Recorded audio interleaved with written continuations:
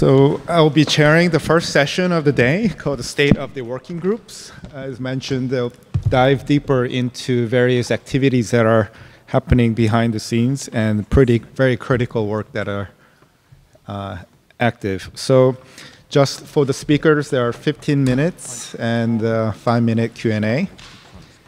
Um, no pressure. and um, hopefully you'll get some nice discussions involved as well. So first will be by Holger and Orit about standards and technology working group. So please. Okay. Is that on already? You hear me? Yeah. Okay. So we try to hurry up 15 minutes. Uh, once we have the slides up, so I can start talking already. So uh, it's my pleasure to give you a quick overview of what we have been achieving in last or in the first year of our existence. So we really started operation in September last year, and um, I will start the talk giving you a quick overview of who we are and what we are doing, and then uh, give you some examples of benchmarking studies that already um, uh, finished. And then Orit uh, will take over and give you some more case examples and an outlook of we are planning of what we are planning to do in the future. So this is who we are. So at the moment we are uh, 18 members spread around uh, different institutions all over the globe. But I think for me the most important point is that we are spread around expertise. So we have basically all core expertise present that, are, that is uh, relevant for key research area within the Human Cell Atlas projects, spanning from uh, spatial transcriptomics, proteomics, uh, um, over epi epigenomics to single cell RNA sequencing, obviously, and for me, one of the most important parts, the, the sampling. Um, the mission of the group is basically to define uh, standards and guidelines uh, for the Human Cell Atlas community, and we do so by um, by, uh, by scouting and scaling emergent techniques, but also by benchmarking existing techniques. And the second part of my talk is about that. Um, okay, I will give you, I will start giving you uh, two examples on how benchmarking led us to uh, crucial insights and how uh, techniques are performing. So these are these papers that were already mentioned by Aviv. So it's a uh, work led by Joshua Levin at the Broad and one work that came out from our lab in Barcelona where we were benchmarking um, different single cell and single nucleus RNA sequencing methods. And both techniques had, or both projects had like kind of um, complementary designs, but as already mentioned, leading to uh, consisting answers, I would say. Uh, in our work, we were um, designing like a multi-center approach. We were where we were uh, preparing a cryopreserved uh, reference sample, which was very complex, consisting of mouse colon cells and human peripheral blood cells. We were sending this sample out uh, to different labs all over the world. Those labs were performing a total of 14 different single-cell RNA sequencing methods. The data was sent back to us middle of last year, and then we ran all the data sets through a unique pipeline uh, for demultiplexing, mapping, and, and quantification. And I will not go too much into the details because it's now published in bioRxiv, just to highlight a few points. So in our work, we were stratifying the, the reference sample later by cell types. So we did not um, only split samples by species, so per peripheral blood mononuclear cells or colon, but we were splitting it further down by cell types and then performing a cell type specific analysis. Um, because we knew before that methods are performing, uh, some are better for larger cells with high RNA content uh, compared to smaller cells with a low RNA content. Um, so here some examples highlighted. So these are examples for human blood cell types, uh, uh human cell types, including also HEK cells, so larger cells with high RNA content. And you see the different performance of the methods.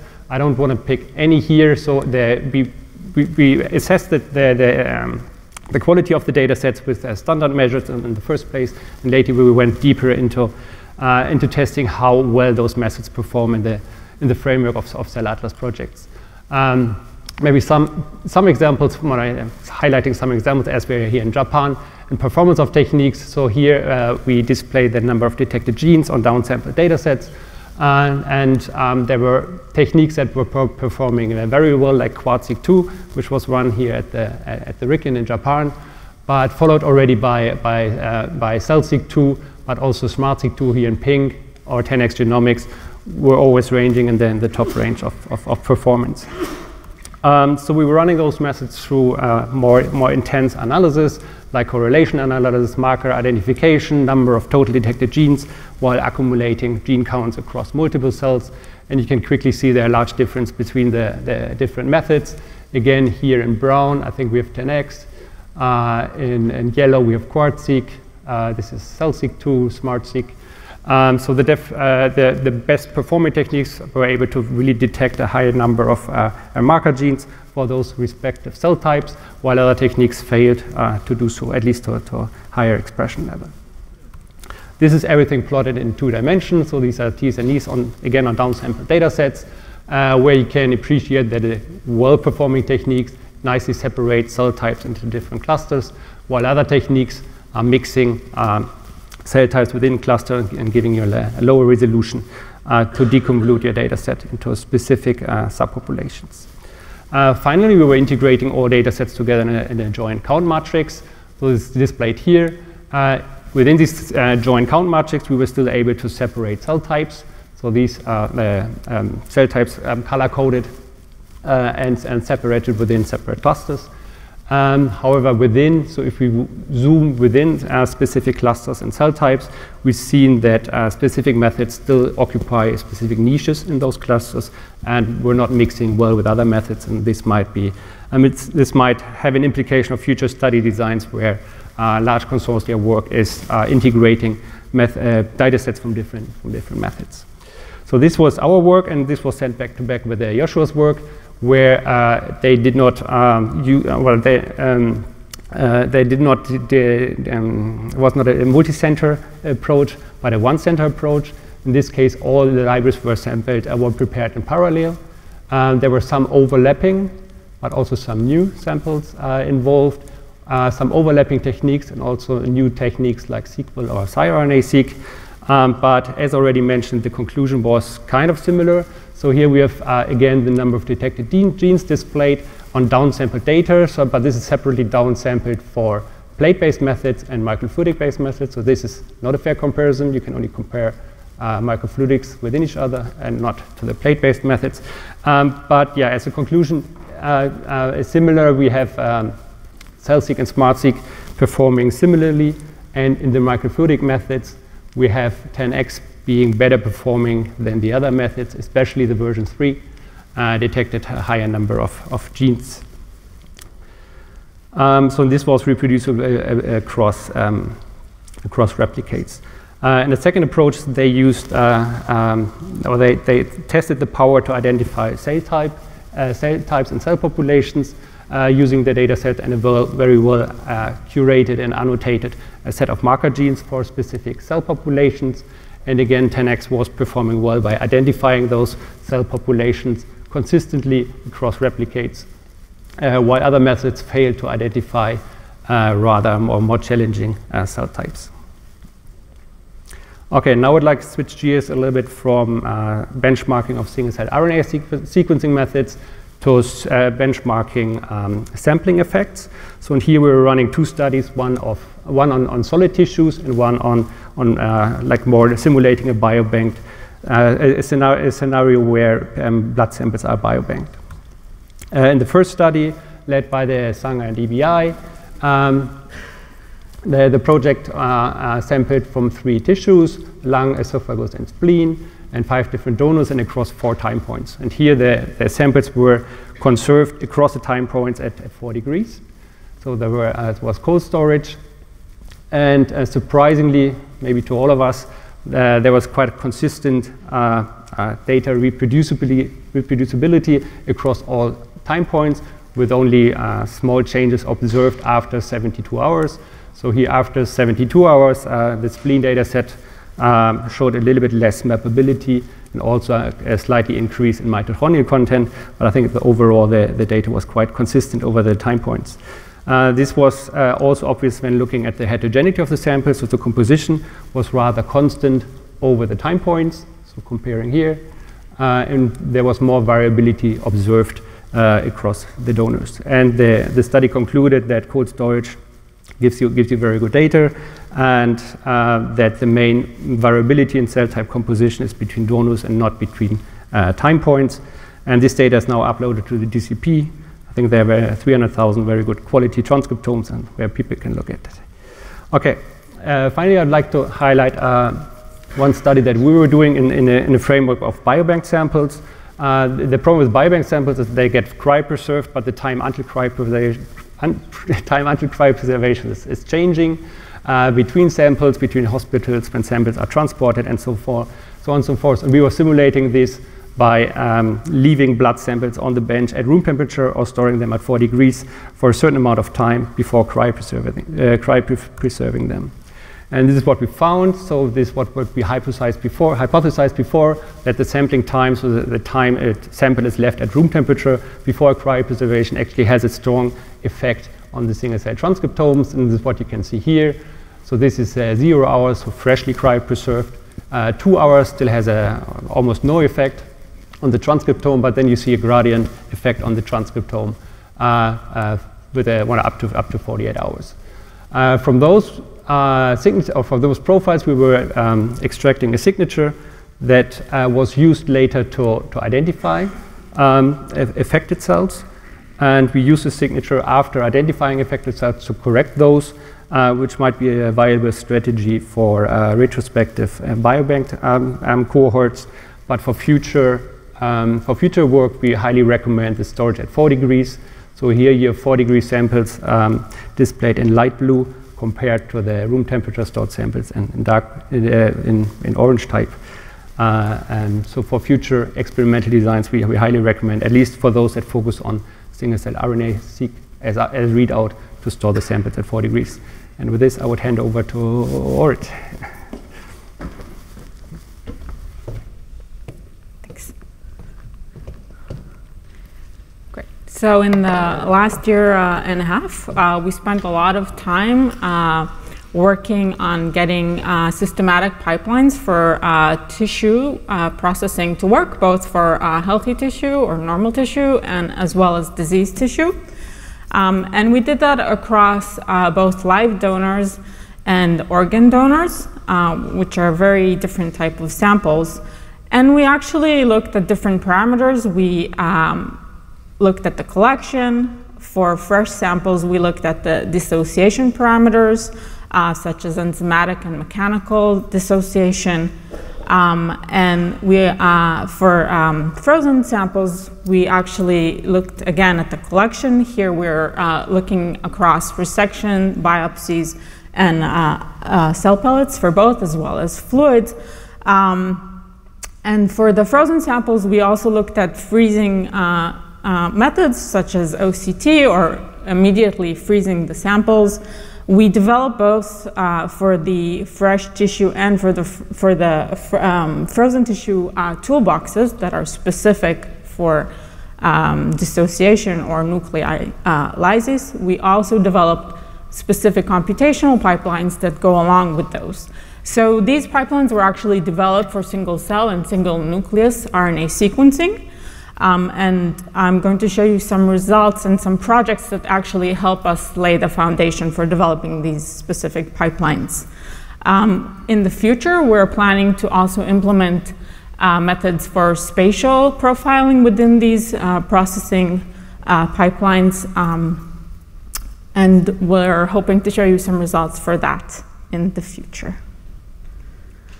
So let me start by describing some of the projects that actually lay the foundation for these. So the first one is the Tumor Cell Atlas project. Um, and here we have several arms. So we have what Aviv mentioned before as the CZI START project. This is an international project where we're looking across five different tumor types, looking at single cell and single nucleus RNA sequencing methods again.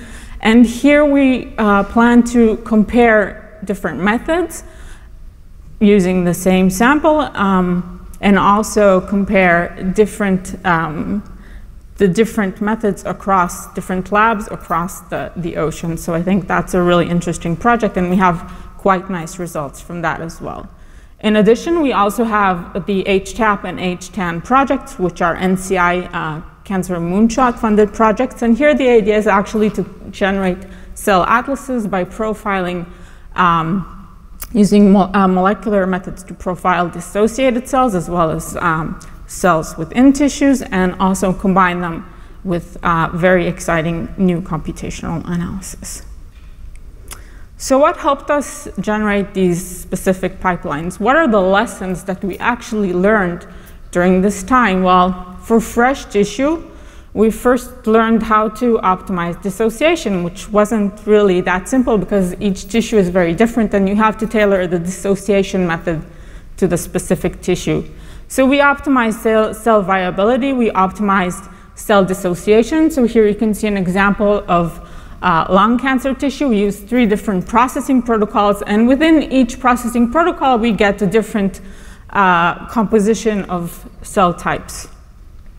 We also spend a lot of time optimizing nuclei preps, and here's what we call the before and after uh, screenshots. So the before is actually um, a result of, of two years where we tried to use nuclei processing, uh, and we really didn't succeed because the first protocol was meant to, or was shown to work in brain, but didn't work in other tissues.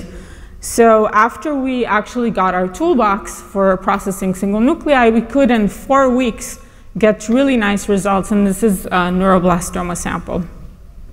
We're also now comparing different methods on the same sample across different labs as part of the CZI start. And uh, we are trying to put all the data together so we have different types of methods and different types, types of data modalities. So there are now uh, computational methods that can put all these different types of data together. And importantly, we're also gleaning new insights into biology. And for example, in Mario Suvà's lab, where they processed glioma samples, they can now connect between um, the uh, different states in glioma and the genetic composition of the tumor, which is very exciting. Another study that uh, we're doing, and this is a very, very tight collaboration with Kristin Ardlie, who's my partner in crime for this, is now to look at normal tissues. So we look at, for each case, we look at three donors across eight tissues using the different uh, nuclei preps. In this case, we're looking at four nuclei preps. Then we put in our, uh, we use our computational pipeline, which was designed specifically for that. So since these are nuclei, um, it accounts for introns, for empty drops. And we also have specific QCs that we use in this pipeline. And after that, we annotate the cell types. So here you can see the results for the eight different tissues. So we uh, initially look at the uh, eight different tissues by themselves.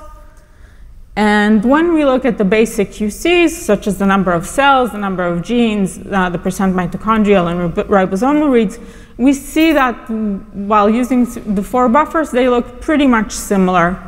However, when we look at the cell types, and these are the basic cell types, we're not getting into very fine cell types, we see that buffer number four, for example, can predict uh, a larger number of cell types that we can find.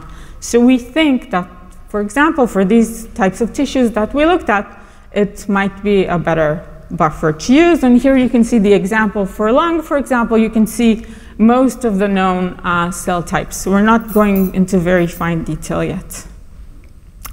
So then we can put all of this uh, data together. So we profiled over 300,000 nuclei across the eight different tissues. And we can see pretty much the expected cell types we see that there are cell types that are shared across tissues. For example, there are immune cells that you can see in different tissues, uh, while there are other cell types that you can see in only specific tissues. For example, the ionocyte you will see only in the lung. Um, and we're, uh, now that we have the data, we're doing deep computational analysis um, and looking at cross-tissue comparison, which is something that's very interesting for us. In addition, uh, we're also hoping to uh, profile additional samples or additional tumors, additional samples, meaning increasing the number of individuals. And at the end of the day, we're hoping to tie this to genetic analysis. So we're very, very uh, excited about this effort. Um, as the STWG group, one of our important missions is actually to disseminate our knowledge. So we use protocols IO for that. Uh, we put our protocols, uh, and we also really encourage the community to put their protocols on there. There are a lot of discussions between members, so people try this protocol and that protocol and comment on it and then improve upon protocols. So I think this is a, a really uh, nice way to um, communicate between everyone here. We also have what we call the uh, HTAP SWAT team.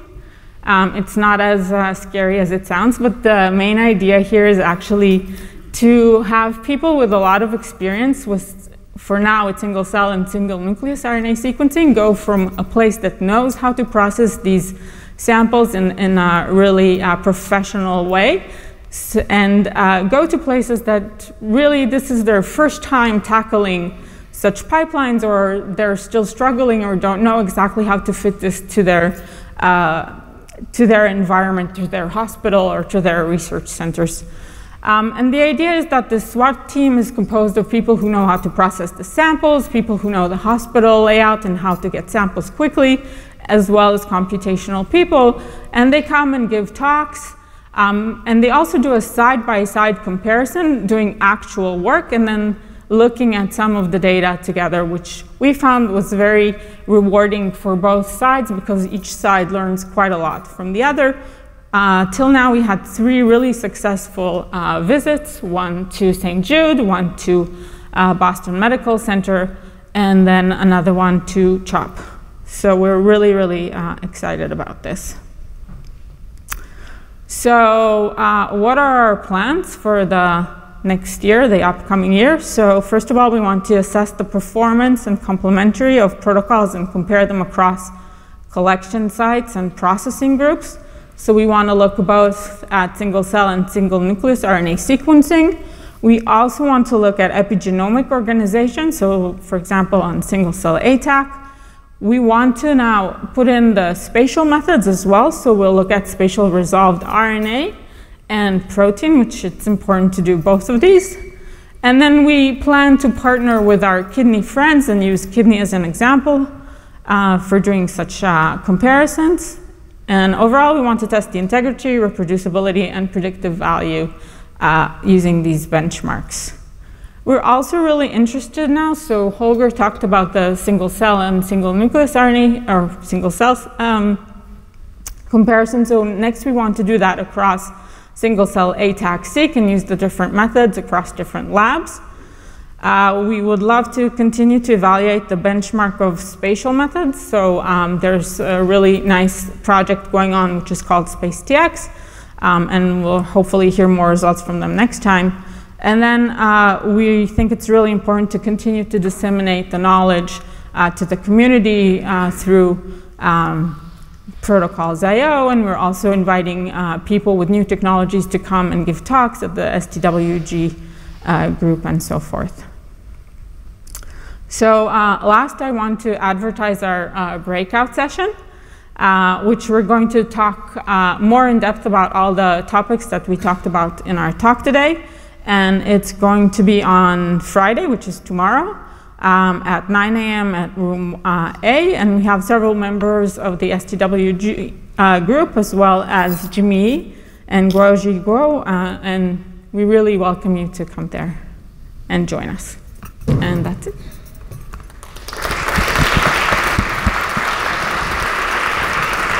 Thank you, Orit and Holger. Um, I'll take really one quick question. We're seven minutes over time.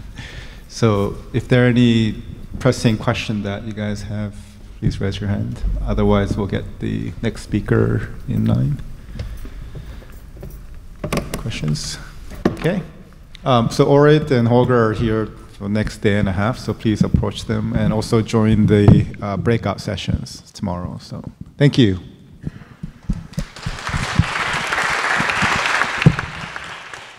Next, uh, we'll have Rahul Satija talking about the Common Coordinated Framework. I believe this is a very important topic in the Human Cell Atlas, so hopefully it'll be relevant.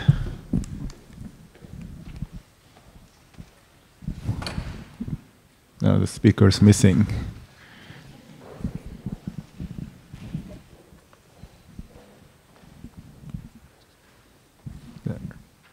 They're putting some makeup, I think. No, I'm just kidding. Microphones. Right. Okay, there it is. Okay. Regular, uh, just maybe a, a, regular mic here. Uh, okay, well, thanks so much for, for giving the chance to be here. Uh, I'm going to talk about um, our, our, initial efforts to construct a common coordinate framework for the human body. And, and the goal here is um, you know, to move beyond not just constructing a, a, human cell dictionary or a human cell census, uh, but of course to construct a, a human cell atlas, uh, because uh, we're sequencing quite a number of cells, as you saw so beautifully from Aviv and Sarah and others. Uh, and what we really want to know now is, is where they are and where they came from. And you know, this is a problem that I've been interested in for about the last four or five years, and, and it started when I was a postdoc in Aviv's lab and moving to my own group, and, and we had sequenced a number of cells from the zebrafish embryo, uh, and we immediately wanted to understand where they were actually located and where they were came from, and so we designed a computational method to back map cells back to their, to their spatial location based on their gene expression. Uh, John Marioni at, at EBI actually had the exact same idea, and we, we published a, a, couple of papers uh, a few years ago and, and got really interested in this problem, realizing eventually that we were going to have to do this also in humans. And so we've been thinking about this problem of how to sort of spatially represent uh, the human body for a while. Uh, and now my lab leads uh, what's called a mapping center for the Human Biomolecular Atlas Project, or HuBMAP, which we'll tell you a little bit more about later today. Uh, and I do that with John and Aviv, and I'll, I'll, tell you a little bit about how we're thinking about this problem of, of building a CCF. Uh, so what do we mean by a, by a common coordinate framework? Sort of what does that represent? And, and actually there was a, a meeting a couple of years ago uh, that was uh, hosted at the NIH, uh, also with CZI and, and HCA, uh, sort of thinking about this problem. And, and they defined a, a CCF as a, a, coordinate system that could uniquely and reproducibly define any location in the human body. And of course, that's, that's the primary goal that we have to achieve. Uh, we, we, know that that coordinate system is going to be you know, defined to, or relative to one or probably many, many more origin points. And, and one of the really key challenges here, and I'll go into this in, in, more detail, is that those origin points, of course, have to be robust to the incredible anatomical uh, and natural variation that exists across human beings. One of the other real challenges of the CCF is, is how you know, we have to model human variation and, and human spatial location across quite a large variety of scales, uh, from the macro level, where we're thinking about sort of the, you know, zooming out to the whole human body, uh, you know, to the very, very fine cellular level, where maybe you know, we'll of course have enormous, enormous variation, but it may not be physiologically relevant to that sort of mesoscale, that transition point where we both have significant uh, uh, anatomical variability, but it's also quite physiologically relevant. And trying to have these atlases work over these multiple scales is one of our primary challenges. So I think this is a really hard and, and fascinating problem. To, to, me, it's certainly much more difficult than, than clustering uh, single-cell RNA-seq data. Uh, but actually, it's, it's, worth remembering that, that this is not a new problem. People have been thinking about this for quite a while. So even you know, dating back to, to the 1960s, uh, there have been atlases of human tissues, including the brain. Uh, so this is, this is referred to as the Talairach-Tournoux Atlas, and, and, it's basically a grid uh, that can be used for, for, that was built by and, and, and used for neurosurgery. And the idea is, is that this grid can be applied to any human brain sample, regardless of the, of the extensive anatomical variation, of course, that exists across people and their brains. And the reason that works is because the primary axes for these grids are defined based on a series of robust anatomical landmarks that are present uh, in all human beings. So, for example, the, the major axis uh, falls along the line that's defined by the anterior and the posterior commissure, which falls along the mid-sagittal plane. And the idea is that for any brain that comes in, if you have a new data set uh, or a new CT scan or an MRI scan, as long as you can identify those same landmarks on that sample, you can then map that uh, that specimen back onto this existing reference framework. And this has been an extraordinarily valuable tool uh, uh, in neuroscience for, for, for, many, many years. I find it remarkable, actually, that this, this atlas was constructed based on two sections from a single 60 year old individual. Uh, and despite that sort of initial selection, it's still been so useful. Now, of course, uh, uh, as time has gone on, there's been great interest in, in moving beyond a reference that's constructed uh, simply based on a single person, and, and the, the, International Consortium for Brain Mapping is, is, an example where they're now taking hundreds uh, of, of, individuals uh, and then trying to, to basically construct a reference from all those people together. Actually, it's kind of interesting. One of the ways that they deal with the extensive anatomical variation when you have hundreds of people is to map all of those samples back first into the Talairach framework, and that then enables you to sort of to, to assist in the registration process of merging people's scaffolds together. And so that general process, you know, there, there's sort of two really key, obviously, uh, components to this. And I think this will be true for HCA as well. The first is to have some sort of source of spatial data. So in, in, these cases, they would be, for example, MRI or CT scans. But I think with the advent of technologies that we're seeing here, those could very easily expand to, extend to, for example, spatial transcriptomics data or slide seq data. Uh, but you need some sort of spatial data for a reference. And the second thing you need, of course, are these, these anatomical landmarks, these invariant features that are going to be present across individuals that are essential for this common part of the common coordinate framework. Uh, and those, those features can be you know, notated by hand, they can, be, they can be learned in an unsupervised way. I'll talk a little bit more about those options, but, we, but th those are really one of the most important aspects because they're going to define the origin points for our coordinate systems. So what we propose to do for HuBMAP, and, and, I think we'll do this individually for, for a variety of tissues, both for HuBMAP and HCA, uh, is to build these so effectively relative or stereotaxic coordinate systems that start from spatial data that, that, that will be collected by, by data generators, uh, and then annotate landmarks on top of them uh, and, and use those to, to build anatomical scaffolds. And once we build those anatomical scaffolds, then we can build reference coordinate systems on top of that uh, that are robust across individuals. So, so this is a very sort of broad and, and, and generalized idea, but, but let me talk about what are some of the specific challenges that we anticipate facing here, and then I'll show you a little bit of our pilot efforts, particularly in the context of the human lung. So I think one of the one of the biggest challenges, which I referred to briefly, is you know how do we deal with with the multiple scales that we have to be able to model uh, in the context of human variation. Uh, you know, do we have to build a single CCF for the entire human body? Can we build individual organ level coordinate frameworks and then stitch those together, which I think is probably how we're going to start? And it's worth noting that that's both a technological question, but also one about biological in interpretation. So, for example, if we want to build a series of organ level CCFs and combine that into a body level framework, we can certainly do that. But we're making an assumption when we do that that the sort of relative size and position of human organs in relationship to each other is going to be relatively fixed. So if we're interested in, for example, seeing how the distance between the lung and the heart varies across individuals, then we need to have a whole body-wide CCF. But if we're interested, uh, if we're willing to take those locations, at least as a first approximation is fixed, then we can proceed to the organ level. So th those are decisions that we're going to have to make for each of these individual projects. What are the, the spatial data sets that we have, and what's the level of biological variability that we actually want to model? I think the, the other really challenging and actually intellectually fascinating question to me is, is how do we sort of uh, construct a reference that's robust to this anatomical levels of variation, and how do we select these origin points uh, or landmarks uh, individually in different tissues? So, you know, we can do that in a supervised way where pathologists or tissue generators, uh, you know, physically mark uh, on their data where, where these anatomical landmarks are located.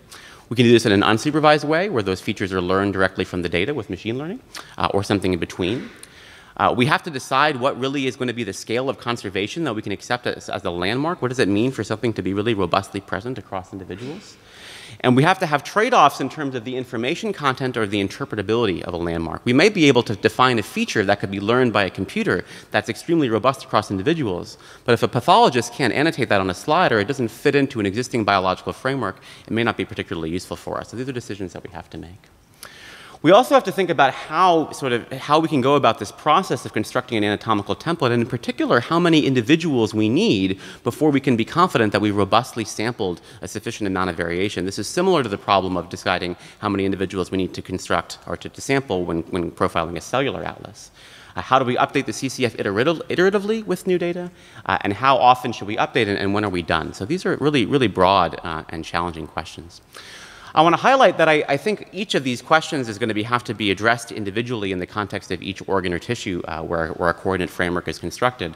Um, we wanted to start, at least to make these questions concrete, by working in a pilot system, and we, we chose to work in the lung. Uh, and and I, I, don't think that the answers that we come up with in the lung are immediately going to generalize to other tissues, but hopefully the process that we go through in trying to figure out the right strategy, hopefully that will serve as a roadmap uh, for other tissues as well, and that's certainly our goal. So one of the reasons that we chose the lung, and you've heard quite a lot about, about lung single cell data and, and different anatomical sampling strategies, is because there was a very sort of well thought out uh, uh, tissue sampling process uh, that came along with this particular project. Um, so I'll just to briefly walk you through this, how this is going to work in the context at least of the Human Biomolecular Atlas project. Uh, we're going to start with lungs uh, that are, are quality, uh, but, but weren't transplanted, so very high quality tissue. They're going to be inflated to the same pressure to minim minimize anatomical variation during the breathing cycle. Uh, they'll be subjected to very high resolution CT. This is all ex vivo, so there can be very high levels of radiation for high levels of resolution uh, and 3D reconstruction.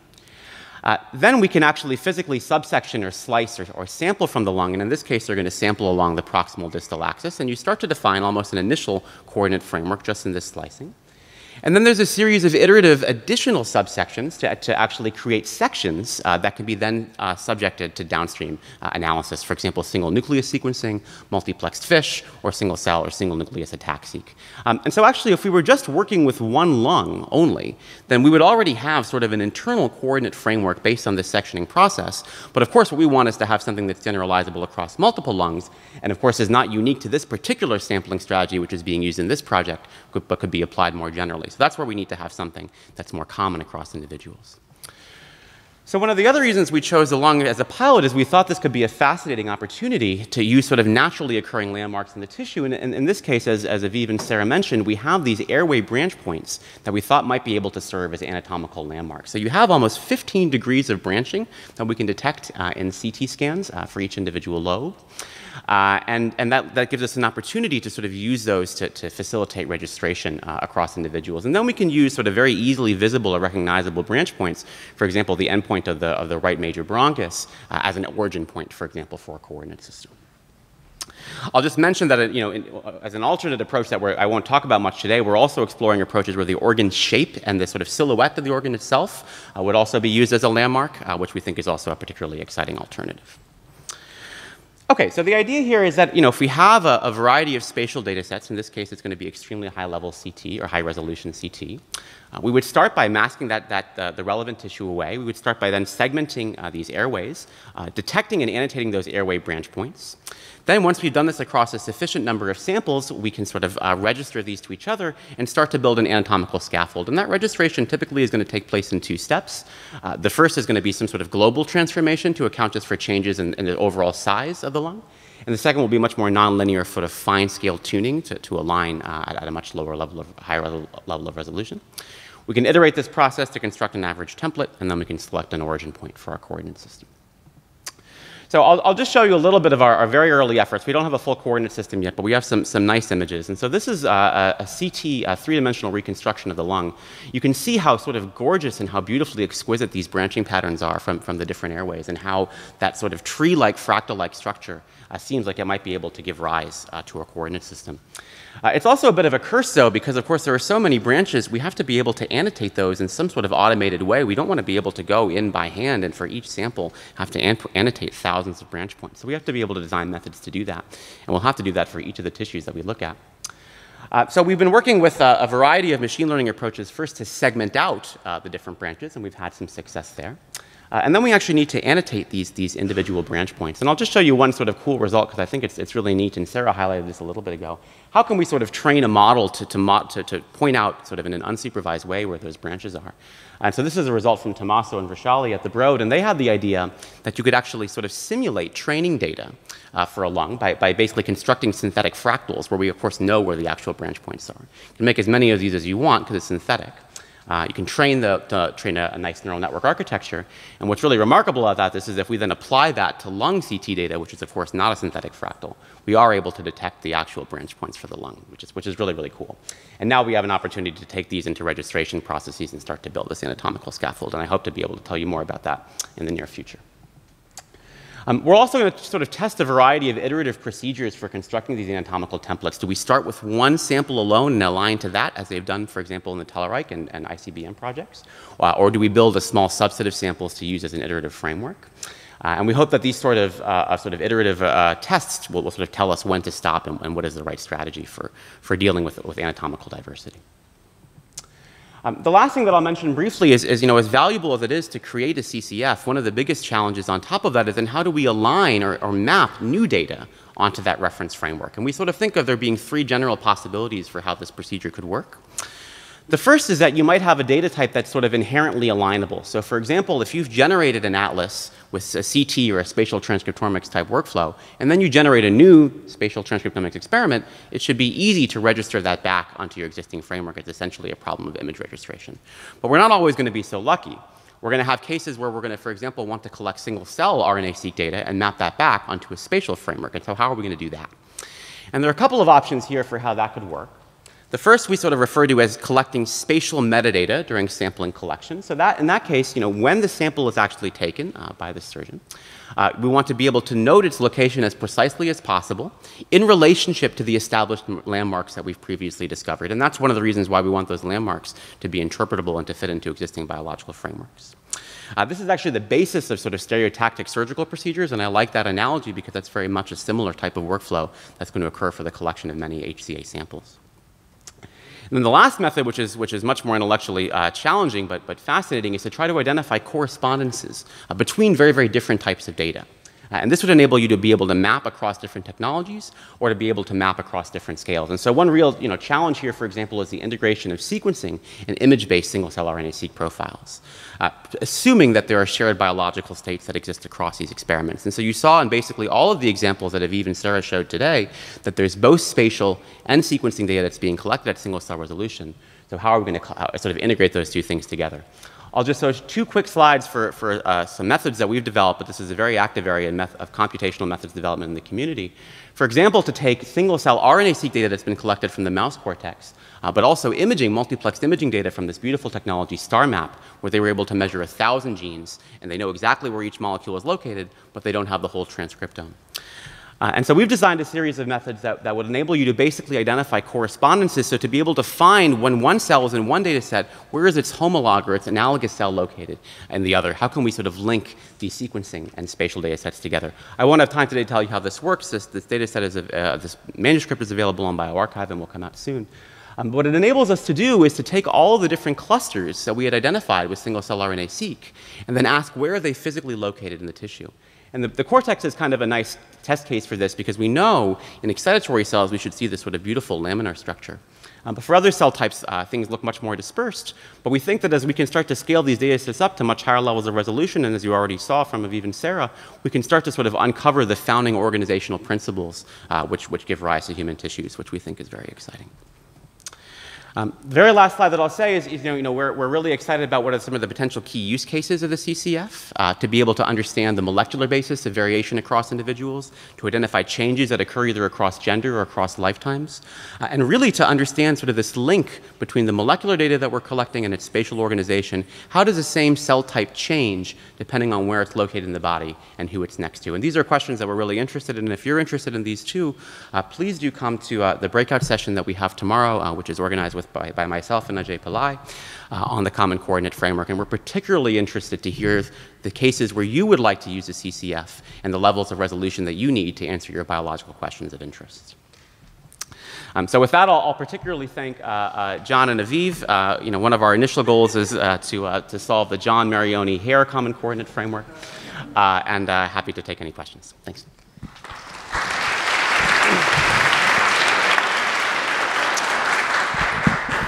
Maybe we have time for one or two questions in the front.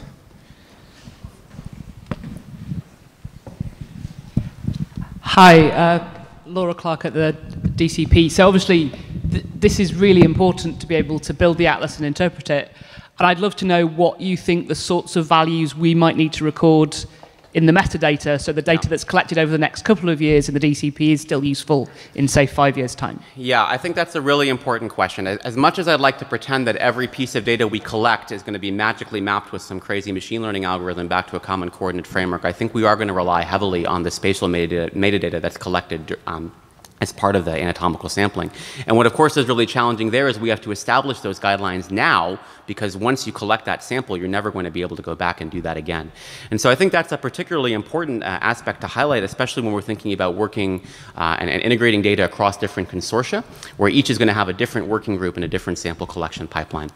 So all I can really say at the moment is uh, if you're interested in that, please do come to the breakout session, and I'd love to talk about ways that we can have different groups talking to each other at an early stage so at least everybody is collecting around the same types of data that will make integration downstream much easier. Great. Thank you. Any other questions? Yeah, one back there, last one. Hey, thanks for the great talk. Um, so, especially in a heterogeneous organ like the lung, I'm thinking about spatial transcriptomics because that's what we work on. You know, the fields of view are pretty small compared to the sort of core yeah. CT. And so, I guess I'm trying to figure out as we work towards bigger fields of view. I mean, I guess it, one way to just be would know where the sample sample was taken from, but it's going to be tricky, right, if you're doing it at a CT level. So I don't know if you have any thoughts about how you're going to be able to connect the two. No, I think that's that's actually probably the greatest challenge that we'll face is the sparse. So if you think about it, sort of from the context of collecting single-cell RNA-seq data, we're probably sampling the vast majority of cell types that are there. Of course, there are going to be ultra-rare types that we might need a billion cells, but the vast majority, we have good coverage of that space. We're going to have exceptionally poor coverage uh, from a spatial context, right? The, the, the level of sparsity is going to be extremely high. Uh, and that's going to affect the level of resolution that it even makes sense for us to map to, because if we're never going to collect the same region, homologous region from two individuals. And I think one of the things that makes this challenging is we don't know exactly the, the, the scale at which these fields of view are going to grow over time. And I, I, think that's something that, that, that does create challenges in terms of the level of resolution we need. So again, please come to the breakout session. It'd be fun to discuss that. Great. Thank you, Rahul.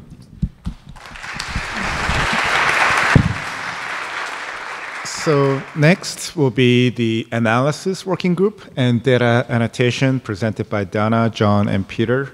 And you guys have 25 minutes uh, plus five minutes for Q&A. So please. Okay. Um, so in the analysis working group, uh, we really try and do two key things. Um, really identify the key computational problems that we need to solve and in Aviv's roadmap earlier today, she liked to sweep under the, the rug just how challenging uh, the analysis is to really take all this data, integrate it into a usable atlas, and we saw just an example from Rahul one type of analysis challenge. How are we going to even put it all together spatially? And um, we, we want to span the full gamut of developing biological uh, uh, computational tools that will empower the biologists to do the analysis themselves powerfully and robustly, all the way to developing methods to do really cool analysis and integration to ask new questions that we wouldn't have imagined possible before that. So our primary role really is to sort of identify the questions, the methods that are needed, get the community together around solving them, and really educate and particularly um, uh, do workshops and jamborees and really target uh, the younger generation as well as cross-disciplinary uh, interactions. Where's the thing that makes this thing go forward? Ah, okay, this thing. And so in the recent time, we've been uh, really focusing on, on, a number of questions. Uh, how do we actually design an atlas? Uh, some engagement with the individual projects. You just heard Rahul about the um, Common Coordinate Framework, and uh, you'll hear later on about the, the, the, Common Platform. And really what makes uh, I really want to focus on one challenge that is a little bit swept under the rug, and, and, and I really want to raise this as something that needs to be solved and right now doesn't have enough part of the community engaging it, and it's normalization. If we're going to put the atlas together, if we're going to take all these samples and put them in a coherent uh, uh, uh, atlas, even in a single sample, there's so much technical variation that the methods to normalize a single sample properly, taking into account all this technical variation, are not yet fully resolved. And recently, there have been a couple publications that have shown that some of the common things that we like to do, normalize all the cells to the same size, which is sometimes really bad. You certainly want to do that in a cell type specific manner, and log normalization and all sorts of other things are really not the way to go. But really, it gets much more complicated than that because we were talking about acquiring these samples not only from different individuals, not only from different labs, but also some of them will be from autopsy, some of them from resection, some of them from biopsy. So even from the same uh, uh, tissue, for the same cell types, for the same sample type, we're going to acquire the tissue in dramatically different ways, some frozen, some fresh, and all of this is going to have huge impact on, on the data that we collect. And we're going to have to think of a way how we're going to take all these different modalities, combine them in a single atlas, and distinguish what differences are caused by the fact that we took these samples in two completely different manners, frozen, fresh, resection, dead, alive, and what is actually meaningful biological differences based on the genetic variation, the environment, or maybe some uh, trauma, operation, or something else the individual had. And really building a, a complete atlas from all this is, is an enormous challenge, and really I'm, I'm raising this as, as a throwback to the audience to try and get people to engage. Here's one little uh, example of how the analysis and the normalization method really makes a difference And you know, without any normalization, here's an example of some developing a mouse embryo. It's actually not human, but what you see is the common method to normalize, which actually works very frequently and does a good job for many, many data uh, types. Doesn't work well, that's in the middle, because it's assuming that all the samples are the same, and there's actually variation over development, over a full day of development. So it assumes too much similarity and sort of smushes the samples together, whereas you need to actually, in this case, understand that there are similarities and differences in your data and model that appropriately. And the main point of this slide is that there's no single right uh, normalization methods. It depends on the data you've collected. It depends on the downstream analysis you want to apply.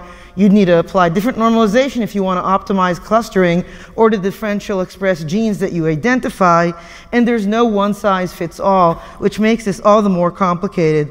So take home thoughts from normalization, and I, we really thought it was important to flag how important this normalization problem is both for anyone who's analyzing this data, how your data has been normalized and what normalization procedure has been applied to the data really influences the conclusions you can derive when doing downstream analysis. So if you're a user, be aware of this normalization. And calling on the computational biologist, this particular problem right now is underserved, and we're calling anyone who's uh, really interested in, in, helping solve this huge problem, and there's going to be a breakout to address uh, this problem. So now I bring it on to John. So it's a very natural segue in some sense from um, challenges in normalization and a particular part of the analysis pipeline to how we're going to work together with the data coordination platform who are going to speak after us about actually analyzing the data in a common way across different data sets. And so one part, a, a very important part of the analysis working group's role is to interact with the DCP, in particular with the analysis team in the DCP. So that's primarily based at the Broad Institute with Tim and Kylie, but also with others, about discussing what are going to be some of those common analysis methods that are applied to all of the data sets that are ingested into the DCP. And so Nir and myself formed this little sub team here, and together with um, the guys at the Broad, we've we discuss and just and consider various options for all of these steps, not only normalization, of course, but the upstream steps, and also how you're going to quality control data, ensuring that we get a high quality data set. It's garbage in, garbage out. We've got to ensure not that we're going to eliminate data, but that cells are marked as high quality or low quality, and that requires robust quality control metrics. And then eventually, once we're a little bit more established with this, and as Dana says, we're clearly not quite there yet with having a one size fits all normalization strategy. I'm not sure we ever will have a one size fits all normalization strategy. There's always going to be a little bit horses for courses. Then going on to the more downstream analysis tasks and having those processed in a uniform way and how we're going to integrate a variety of different data sets both within a cell type and ultimately across cell types so that, for example, we could look at tissue resident immune cells and compare them in a meaningful way across different data sets. And that's ultimately what we would like the DCP to be able to accomplish as well as um, our role with the DCP, um, which is, of course, fun, there's also more obvious fun in some sense in that we do a lot of community engagement, and in particular, as Dana alluded to, trying to not just get PIs in a room together, but in particular younger scientists, so postdocs, PhD students. And one really fun way that we've done that, and I think it's been very successful, is we've organized a series of analysis jamborees where students, postdocs from a variety of labs from across the world all get together and over the course of two, three days, they come to one physical location and they work on a particular computational problem or a set of problems. So the first related to things around normalization, Stan alluded to, very important. The second, more experimental design. The first took place in Hinxton, shown here in the bottom left, and the second in Boston. And we're getting ready to organize a third and other sorts of jamborees in the near future. So do keep that in mind. We will be advertising that fairly soon. And not only is this a nice interactive environment where people can get together, it actually has very concrete actions. So um, one very concrete action is the generation of this paper, this empty drops paper. So for those of you who are not familiar, one of the challenges, especially with droplet-based technologies, is determining which drop contains a cell. And there are a variety of approaches that one could take to do this. You could just threshold on the number of UMIs, but you risk missing out small cells that are maybe going to be underrepresented if you just have a hard filter. And so, as actually the first HCA Jamboree, they came up with a novel method in order to distinguish empty drops from um, um, genuinely droplets that contain cells. And this was published, and now it's part of a lot of analysis pipelines. Indeed, this is now part of the core 10x analysis pipeline. So it's a really concrete action that came out of the HCA and getting these young scientists together. And I would point out that the first five authors here, they all come from different labs from different parts of the world. So this really was a fantastic exercise. And I think that it's been a great way of getting the community to come together. And as we do more of these moving forward, we're very grateful, of course, for the support from CZI and also from Amazon Web Services that we were able to do this. And we're very excited to be organizing more of these moving forward. So that's all I really want to say about our interactions with the DCP and community engagement. And for the rest of the time here, Peter is going to focus on the Common Annotation Platform, which is really an up and coming and very exciting aspect of work within the Analysis Working Group. Thank you, John. Does this work? Can you hear the mic? Okay, great. Yeah, so one of the challenges that we've identified, I think, from the past uh, HCA meetings is, is that of uh, annotation coordination. And this is a snapshot of uh, Tabula Muris Atlas from CZI Biohub. Uh, and in fact, uh, Steve Quake was talking about this yesterday about ongoing work and, and, highlighted the challenge of annotating this. In this case, it's all under the same roof of the basically same institution uh, or institutions across the bay, let's say. And it took a lot of effort to actually make sure that they could annotate in a common way. Um, I think they've had to design their own infrastructure, some scripts, you know, common things that people were supposed to use, uh, an ontology uh, to, to, to sort of focus them on a, on a common terms and so on.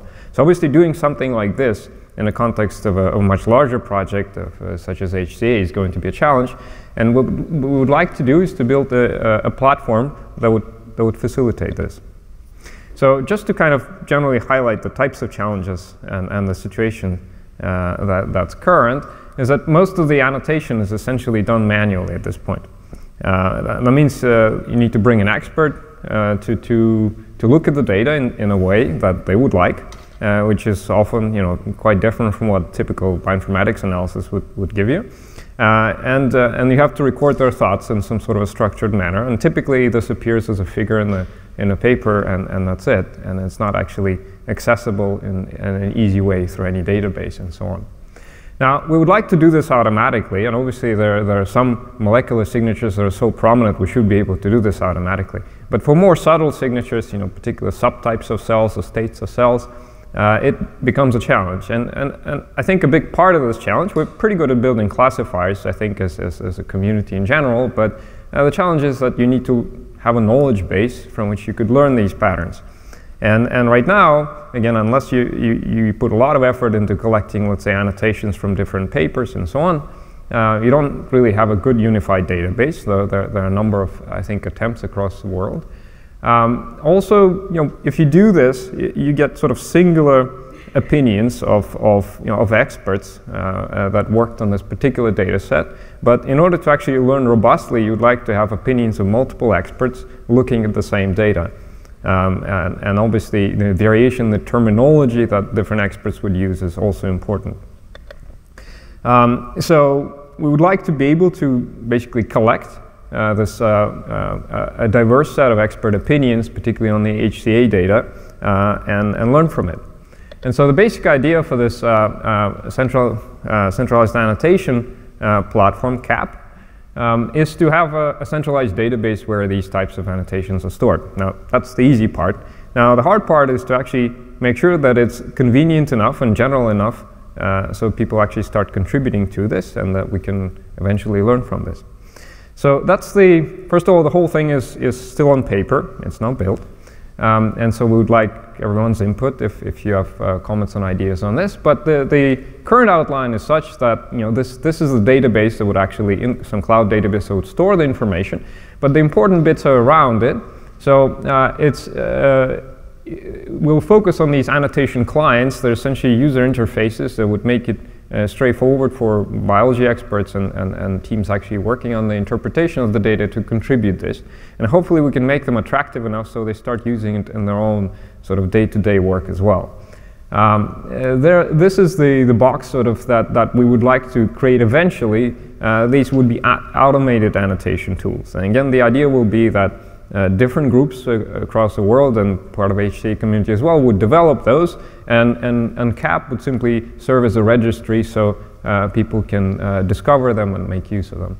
And obviously all of this is connected to DCP uh, where the actual raw data is sitting.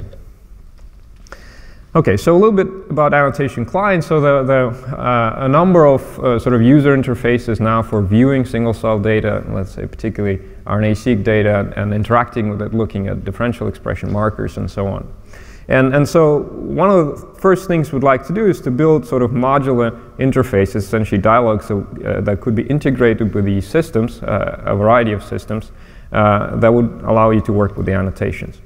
Okay, so here, here are sort of mock-ups. So the you know, basic idea, if you're looking at a data set, let's say an HCA data set, uh, that other people have already looked at and, and expressed opinions about, um, this uh, module would pull them up from the centralized database and you would see, uh, let's say, a multiple users that have contributed annotations you know, for this particular data set. Um, we would like the whole thing to be quite democratic. So in principle, any registered user should be able to go and contribute their opinions. But obviously, there'll be um, sort of very uh, well-rated uh, opinions and, and others that are perhaps not, not as thorough. Um, so that's going to be one of the challenges, you know, to basically establish a rating system uh, and, and get user feedback to sort of maintain this properly.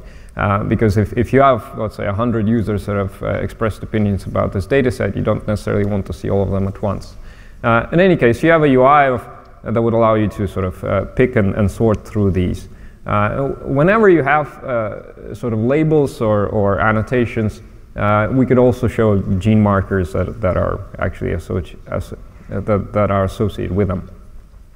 Now, I should mention, you know, what, what, do we mean by annotation? And there are various ways of looking at it. What we mean is basically an association between uh, a given term, you know, a label of some sort, uh, and a set of cells that are actually annotated this way. Uh, that's it. Now, once you have that, you could try to derive, you know, molecular signatures, um, uh, some kind of abstract models, and so on. But uh, we're focused on just uh, maintaining that, that, that association, the action that a particular label is assigned a particular set of cells and a particular um, uh, data set. Of course, with that, uh, you can have additional metadata such as evidence that, that you know, people have used for this, the type of you know, method they've used for this, and or logic and probability of assignment as well. Okay, so uh, if uh, because you know, if we have a number of these data sets and, and a variety of experts contributing this, uh, for a given label, let's say a particular term, um, uh, you can actually get quite a bit of information. And so the, uh, there's a notion of this kind of uh, GeneCards like page, but for, for cell, you know, cell types, cell cards, let's say.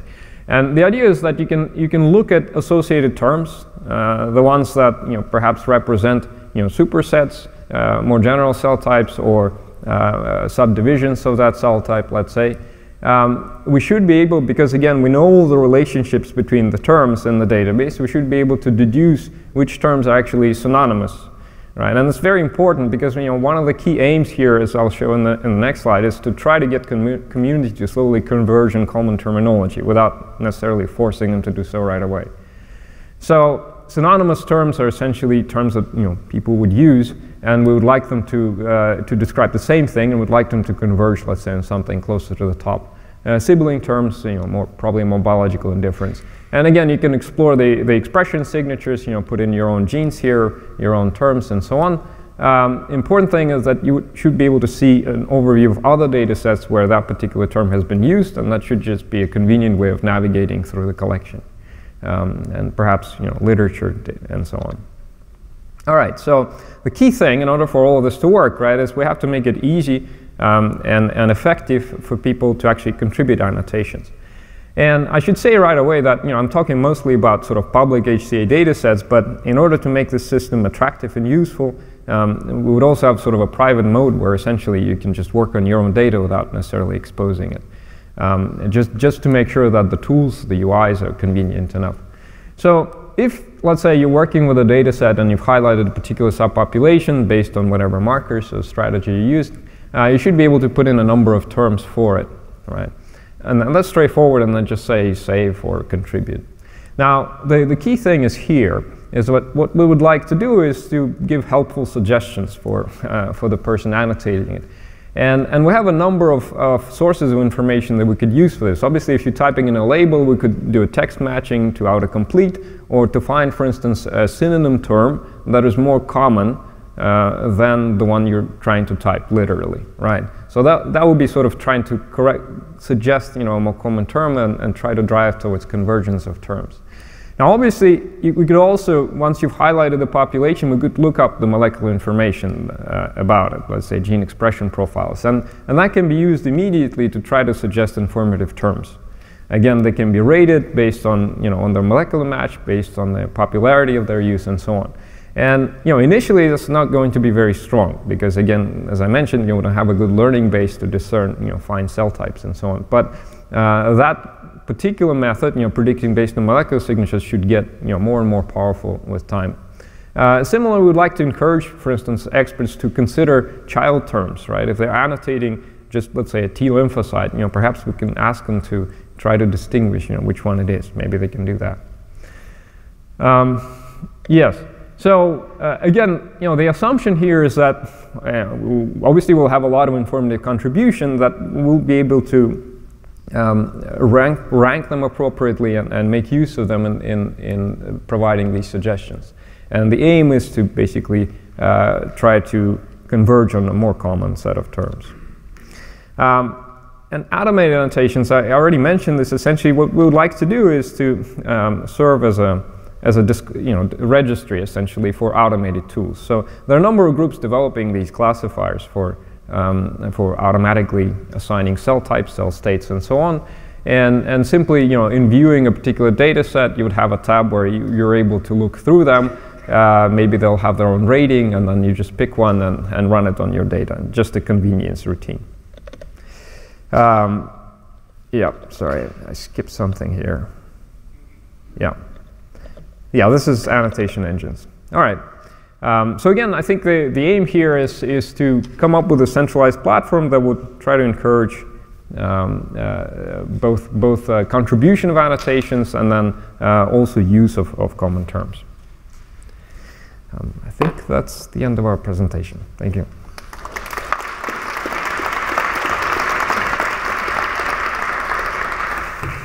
Thank you. And we have some time for questions. So, Sham. Uh, Peter, I have a question about the, uh, your last part. Uh, I think the, I can see how many different people can, based on their knowledge, annotate this one embedding of this one set of cells. But if you have many people in the world generating many data sets using many different embeddings and clustering them differently, yeah. Uh, how, how do you sensibly annotate that? You know, because uh, this person's embedding and clustering will have half of the cells that that person would have put in a different cluster yeah. and half of the cells that put in yet another cluster. And how do you get any coherence? And if the underlying objects that these annotators are annotating don't agree with each other?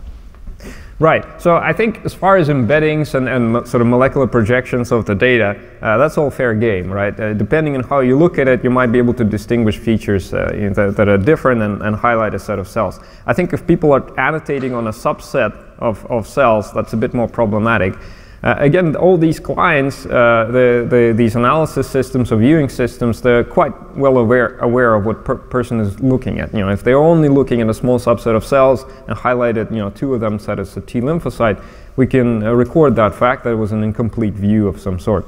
Um, I think, you know, the, but beyond that, you know, in terms of views and so on, the, the key thing we're really learning from this is, is molecular signatures, right? So as long as we can, you know, get that association, um, uh, for, for us uh, over time they'll be very useful. And, and talking about sort of a scale of you know many data sets many people trying to work on them um, the, that's where all the automated tools eventually should you know, hope will take over. But in order to get to that point we, we, we need to get expert opinions you know and a variety of them as well.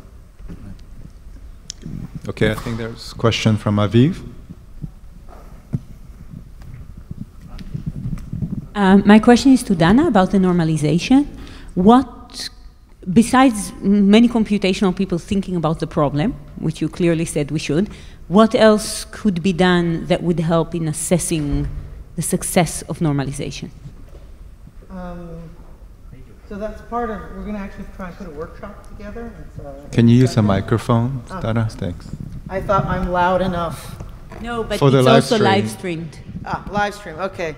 So right now we're in the process of defining what's needed to scale, uh, what's needed to evaluate normalization, how many normalizations do we want to do, what type of modeling. There are many challenges. Therefore, we're thinking of putting together a workshop and inviting uh, computational people, both that are in the community and also targeting computational people that we hope to entice into the community and really come together over two, three days. This is going to be uh, jointly uh, organized with the CZI. And actually finding a, a, date that works has been the, the challenge right now probably sometime in, in the fall, late fall uh, this coming year. And hopefully at the end of this workshop, I'll be able to answer all your questions. Excellent. I think there's a question from Bruce.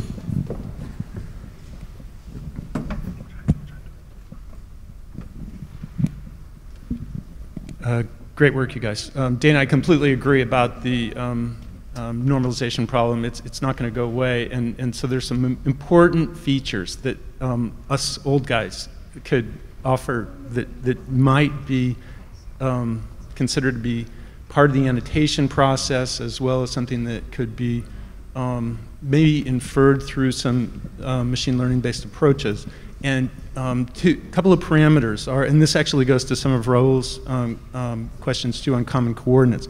We need to know cell size, we need to know cell shape, we need to know nuclear volume um, and, and sort of eccentricity, stuff, stuff that's, that has you know, some correlation to cell differentiation state, but a lot of it is, is also cell state and, and you know, characteristics of in, in class um, aspects of a cell. And so knowing that will let us kind of understand what's the distribution of, of um, you know, uh, transcripts in a nucleus and in the cell, maybe even eventually asymmetrically in the cell distribution. So all that stuff is going to really help figure out like what's the what's the cell's strategy for um, you know becoming elongated. So so let's say in the common coordinate framework, once we you know we see um, you know long structures versus uh, compact structures, we need to have a cell parameter in there about was, was there a genetic change in cell size or, or was this because of more cells present of that differentiated type, for example?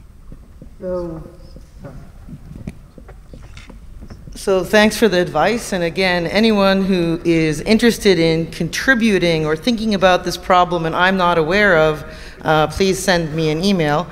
I don't think we're going to be able to get these parameters for each cell in the database, even though having some type of benchmarking data sets to help understand and model the problem that includes these parameters will be valuable. It's my fear that actually the biggest you know, confounders in normalization are not going to be the actual biology of the cell, but the actual process in which that cell was turned into uh, a bunch of reads. There, there is some truth, though, that the cells are in, in truth states, and so our, what our measurements do to approximate that, I think we've got to come to better terms with.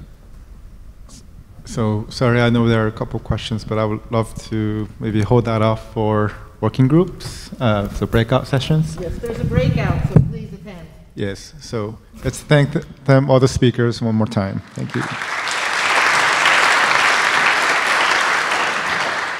So I'm trying to go so we can give you some coffee as soon as possible. So I'll do my best here. So next will be on data coordination platform and be presented by Laura Clark, Brian O'Connor, and Kylie Pigantello. So please. Hi, so thank you, thank you to the organisers for inviting us here today to give you an update again about the data coordination platform. Um, and so for, in case there are people in the audience who haven't seen a sort of overview of the DCP before, um, you know, because uh, obviously we have new members of the community here with us. Just for sort of an overview, the, the basic idea of the platform is to provide a cloud-based infrastructure that supports the community discovering sharing, analysing and exploring all of the data because this is such a vast amount of data that we've heard about from Aviv and Sarah and we want to make it easy for everybody to be able to get involved, whether you've come from a small lab or a giant centre. Um, and, and so this is really part of the, um, the point. Um, and I'm going to give a bit of insight into the data and hopefully if uh, uh, oh, we've got Kylie and Brian off stage, which is good because they disappeared and I, I was concerned I was going to give the whole presentation. Um, uh, sort of going to talk about the analysis pipelines and the, the sort of tools we're building to access the data. So here we have, first of all, a real thanks to everybody who's already got involved and is starting sharing the data with us. Um, this is both from um, published data sets, preprints, and, and there is pre-publication data, and we're very grateful for everybody who's doing that. Um, there's many different data um, centers who are working with us, and of course the data wranglers, some of whom are here, you'll see a number of us have badges on that you can ask us about the DCP, um, who are working with everybody to get the data in. Um, one of the important things we've established recently with the help of, of the governance group of the data coordination platform is sort of a data prioritization. We want to hear about and learn about all of the new sorts of data that you're generating. I think I saw on slides sort of proteomics data sort of on the roadmap, but we also, it's much easier for us to take in, say, 10x and SmartSeq 2 established data that we already have pipelines for and we understand much better the, um, sort of how to, how to collect metadata for than some of the new, newer data types. And so the timescales on which the data can enter the platform changes depending on the sort of data and the sort of um, tissue it comes from. Uh, and right now it's important to note that we can't take data that isn't consented for open release. You'll hear more from the ethics working group um, about what the plans are there uh, sort of to ensure all sorts of data can be accepted, but the DCP will have to catch up to make sure we can support um, um, in an appropriate uh, sort of responsible sh uh, data sharing framework for, for other sorts of data. But do, do talk to us about all of your data. We want to know about your, um, about your plans so we can plan and prioritize our, our own work um, in the same sense. And then the sorts of data that we have on the horizon, again, 10x and SmartSeq are the data types that we have most of, but we're also seeing all sorts of different droplet um, uh, based technologies, um, single nuclei, sequencing, single cell ATAC-seq, and then we're working quite closely with the SpaceTx consortium, who have been mentioned a couple of times already, to ensure that the platform can support all of the imaging um, technologies that are coming forward. And we have both sort of human and mouse data and from a, a wide variety of different organ systems that will, I'm sure, continue to expand as we sell from all the different Atlas projects that were mentioned. And now I'm going to hand over to Kylie, who will talk about um, the pipeline works that's being done. Thanks, Laura. As it was highlighted by Donna and John, to be able to create an atlas of all of the human cells, we need to process the data in a consistent and standardized way. To accomplish this in the platform, we ingest the data as raw data and metadata, and then we process it using our standardized pipelines, which are developed with guidance from the Analysis Working Group, Ambrose Carr, and Tim Tickle. In November, we updated you on our SmartSeq 2 pipeline, which we use to analyze paired end SmartSeq 2 data from human. And I want to say thank you to Janice Poroy for making these awesome pipeline diagrams. Today, we're excited to update you on our newest pipeline for the HCA called Optimus. It's been developed to analyze 10x V2 chemistry 3' single cell RNA sequencing data from humans. Optimus takes in FASTQs and produces a GA4GH compliant aligned BAM, a cell by gene count matrix, and QC metrics for cells and genes. It's been optimized to run in production on the cloud and benchmarked against community standards and it's also been developed to be easily extensible to other droplet-based assays. As Laura noted, we have some key data sets in the platform that are from mouse. So our next steps are to extend our pipelines to be able to analyze mouse cells. This will actually enable us to be able to process over 90% of the cells that are currently in the platform. After that, we're looking to extend Optimus to be able to analyze other types of droplet-based assays, like DropSeq, DroNc-seq, nuclei sequencing from 10x, and 10x V3 chemistry. After that, we're very excited to be able to support other assays in the future, like Laura mentioned, ATAC-seq, bulk imaging. When you submit your data to the platform, it will all be analyzed alongside the raw data and metadata and made available immediately in the data platform. The uh, pipelines will all be kept up to date, and the data and metadata as it updates will be kept in sync with the rest of the atlas. Everything we do is for the community, and our pipelines are all open source. The pipeline from, for Optimus is found in the Human Cell Atlas GitHub organization. It can be found on Dockstore, and it can be run in Terra, an analysis platform. There you can test out the pipeline for yourself and run it on your controlled access data. We're really looking forward to your feedback on Optimus in the next round of beta testing. And now I'll hand off to Brian to update you on our first round of beta testing and the data portal. Thank you, Kylie. So uh, as Aviv mentioned um, at the beginning of the conference, um, we have been working towards um, improving the DCP overall and getting feedback uh, from the community. Um, so at the beginning of the year, we wrapped up our first um, beta of the platform, and we got a wonderful amount of feedback from the community. So first of all, thanks to all the testers um, in the audience that provided feedback uh, in this process. So what was good? People liked the look and feel of the site. Uh, they were able to use the documentation, and they were able to use the command line tools um, to actually perform download. Um, opportunities for improvement. Uh, we um, know that uh, accessing uh, scientific metadata uh, was something that was an opportunity for improvement. increasing the download speeds and making the directory structure more accessible was another area.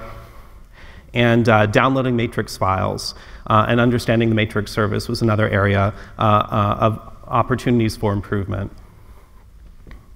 Okay, so in terms of taking that feedback and translating it into improvements in the data browser, the data portal, uh, on the data browser side, this is uh, the faceted browser that allows you to find uh, data in the DCP.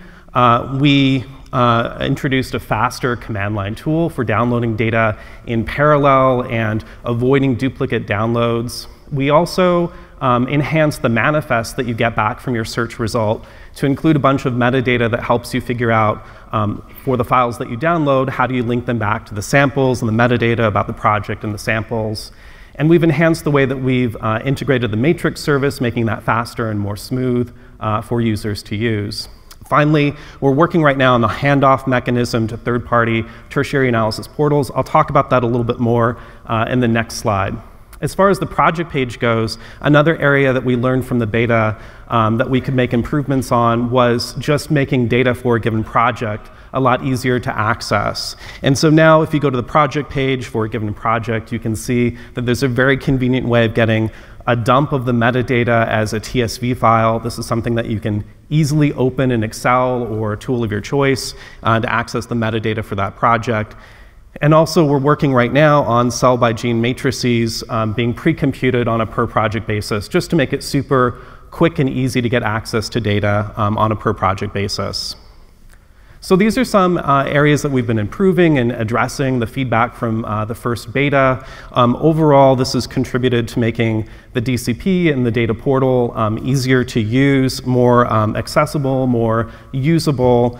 Um, if you look at the portal right now, uh, you can go into it and use the data browser to explore the data in the platform, to facet on um, your search criteria, and ultimately you can take that to download data via our command line tool. You can generate a cell by gene matrix, um, and you can also take the uh, downloaded results, um, use our API, or call the cell by gene matrix through a Jupyter notebook.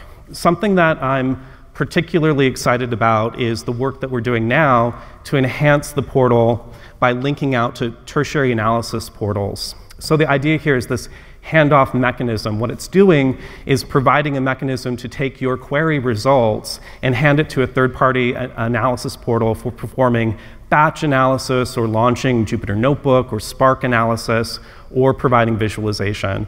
So at the end of quarter two, beginning of quarter three, we're focused on the Terra platform right now. This is the Broad platform for performing batch analysis and running Jupyter notebooks, but we're looking to continue to expand this handoff to other tertiary analysis portals throughout quarter three and quarter four. So that's very exciting to be able to link out to the, uh, the community of tertiary analysis portals.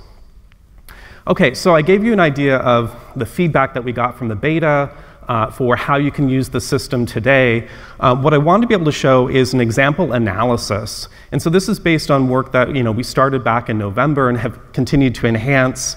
The idea here is how can we replicate a sort of typical analysis? So in this example, we looked at replicating the Enge et al. Um, 2017 cell paper. Um, and replicate, what I mean by that is, is in broad brushstrokes, do a similar sort of analysis. Um, the idea behind this is we want to provide a high quality tutorial on our site that shows users how they can find data, uh, find the data behind this study, to generate a cell by gene matrix and ultimately to do a similar sort of analysis um, uh, that was presented in this paper through Jupyter. So I'll just dive into this a little bit more in terms of finding the data. In this tutorial, you can follow through and filter down the projects that contain samples from pancreas and also further refine it down to the project that's associated with this publication. Once you've found that in the data portal, um, you can then click on the button that says Request Expression Matrix, which does exactly what you'd expect. It gives you a few different options for format and once you click the, uh, the button to generate the matrix, there's a live matrix service request that's happening to assemble that matrix on the fly for you. It takes about a minute or so, and you're able to get um, both a direct download of this matrix and also a URL, which you'll see comes in handy in the next step. Okay, and the third step is actually performing analysis in a Jupyter notebook that mimics uh, what this publication was doing. Um, in this case, uh, Genevieve Haliburton um, wrote a notebook to kind of mimic the style of analysis using ScanPy uh, that was shown in this paper. Um, we modified that notebook to support that URL directly from the Matrix service. So in this case, I'm launching the notebook in Terra. You can launch it in uh, mybinder.org, or you can launch it in your local computer using Jupyter Notebook.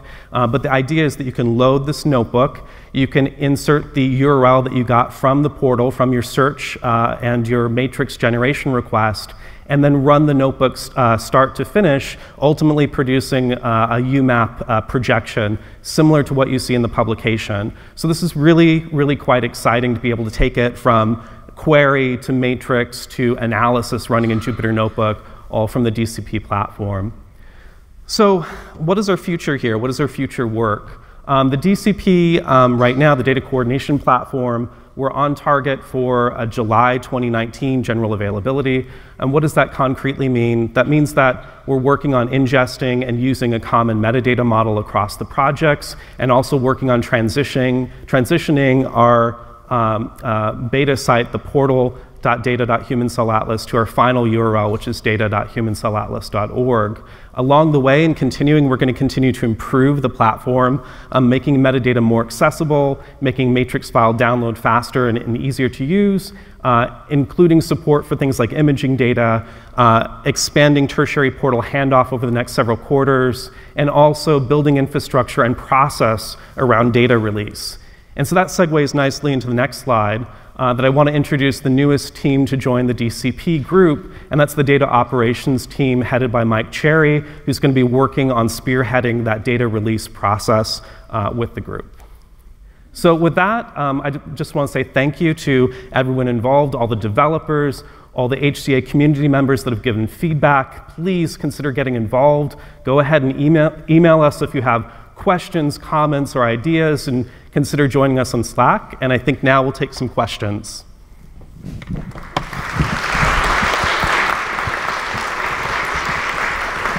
Thank you for being on time. And now we have some questions.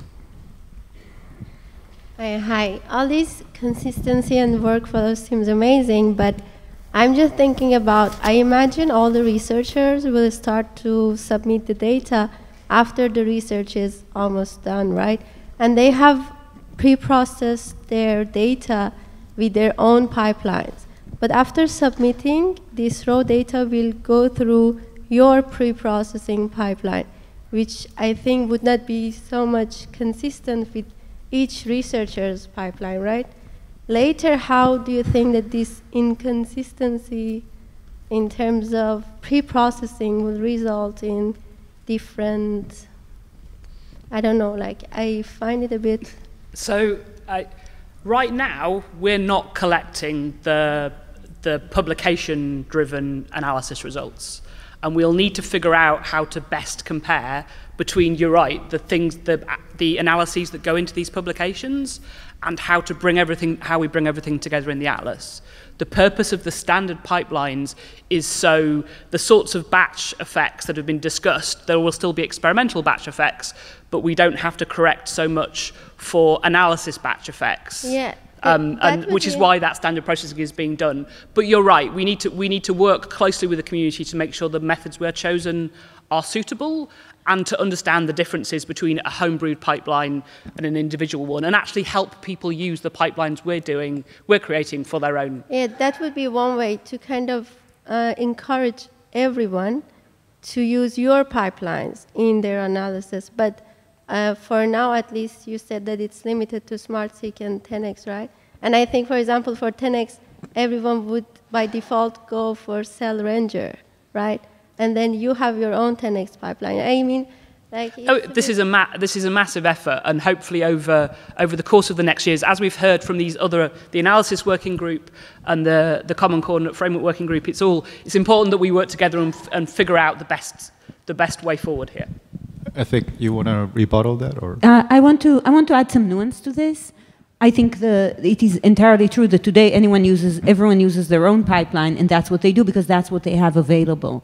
I think our goal as a, a, group is to find both the right incentives and the wherewithal together, not to remain stuck in a situation where everyone does something separately and then later on tries to figure out how it combines. And it does require a shift.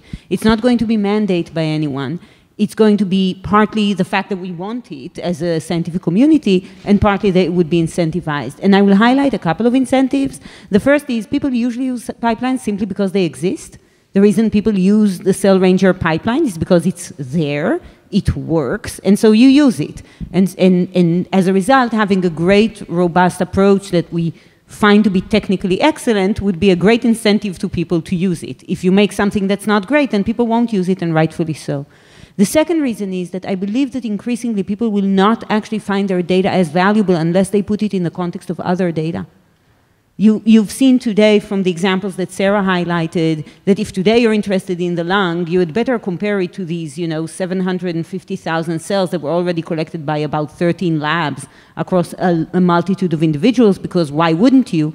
And in that context, it would be a great incentive to actually analyze it all together within one unified approach, rather than first analyze yours and then try to match it to data that was analyzed by other people in other ways, which might amplify differences rather than similarities. And that relates also to the great challenge that Dana posed us around normalization.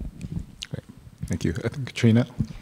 Uh, thank you. It's always impressive to hear what you've been doing. I was wondering, how do you envisage non-expert users interacting with the DCP? And have you been user testing, or do you envisage user testing in future with people who might not ever have heard of a Jupyter notebook, but probably will be really interested in, in, in aspects of the data?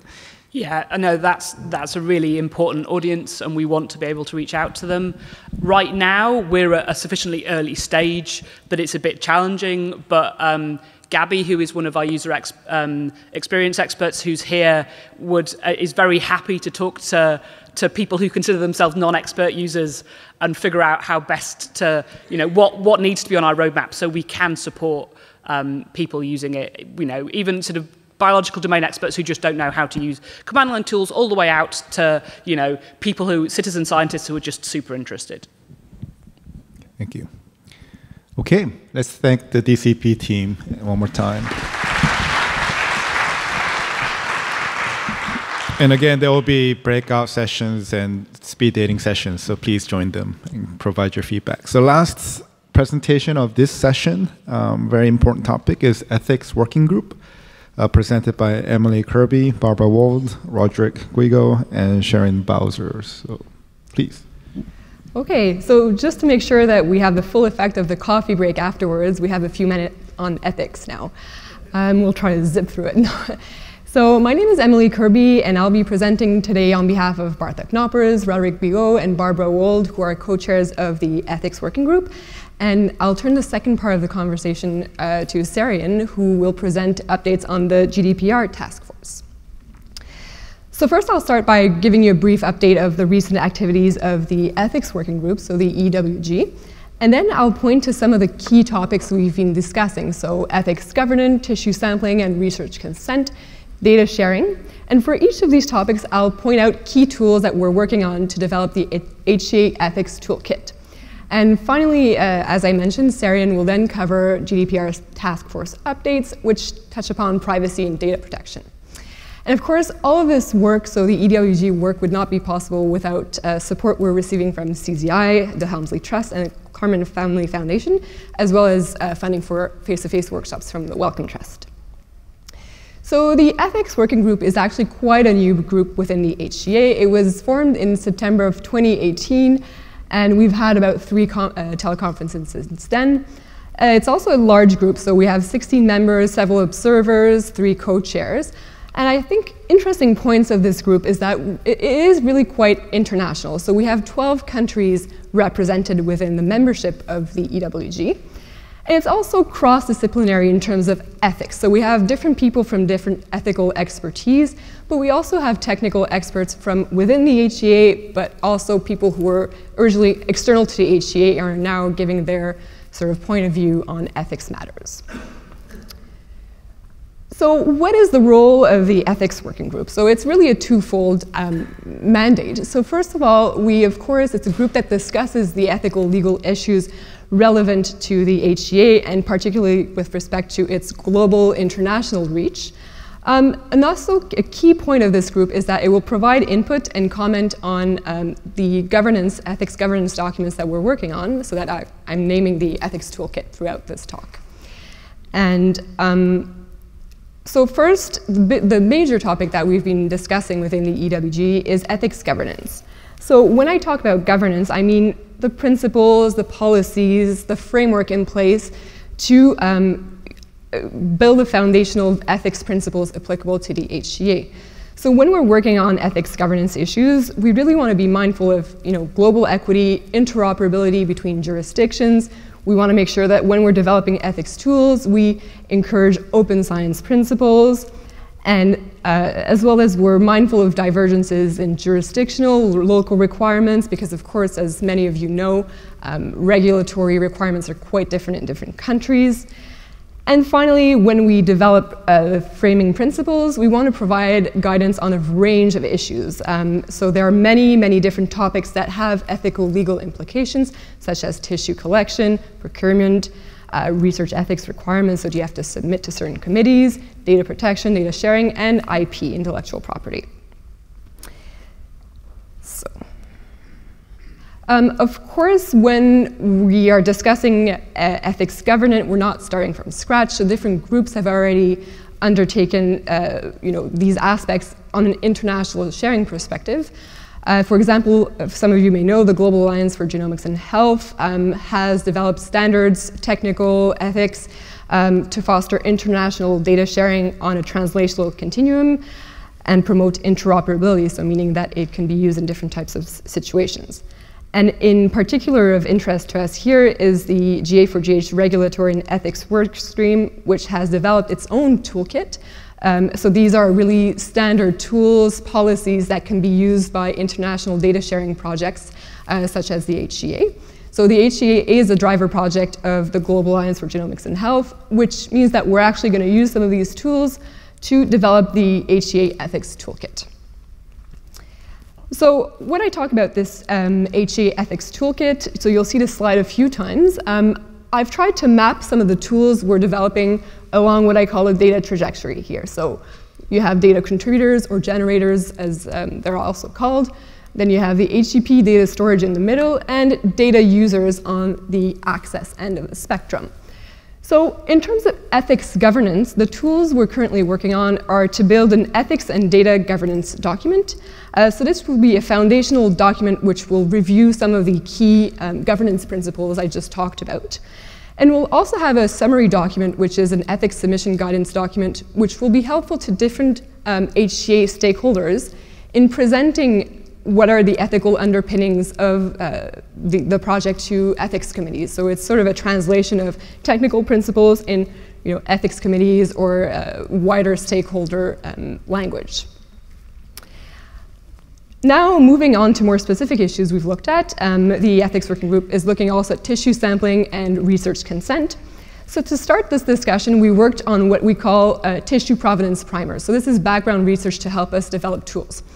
Uh, we looked at a high-level surveys of seven jurisdictions, and we looked at three different types of sampling scenarios. So we looked at post-mortem, uh, sampling from deceased donors, sampling of fetal embryonic tissues, and sampling of uh, tissues from live research participants, and leftover clinical tissues. So for each of these, we looked at, across seven jurisdictions, what are the different consent models? What are the ways that you obtain permission to use tissues and generate data and share this data as well?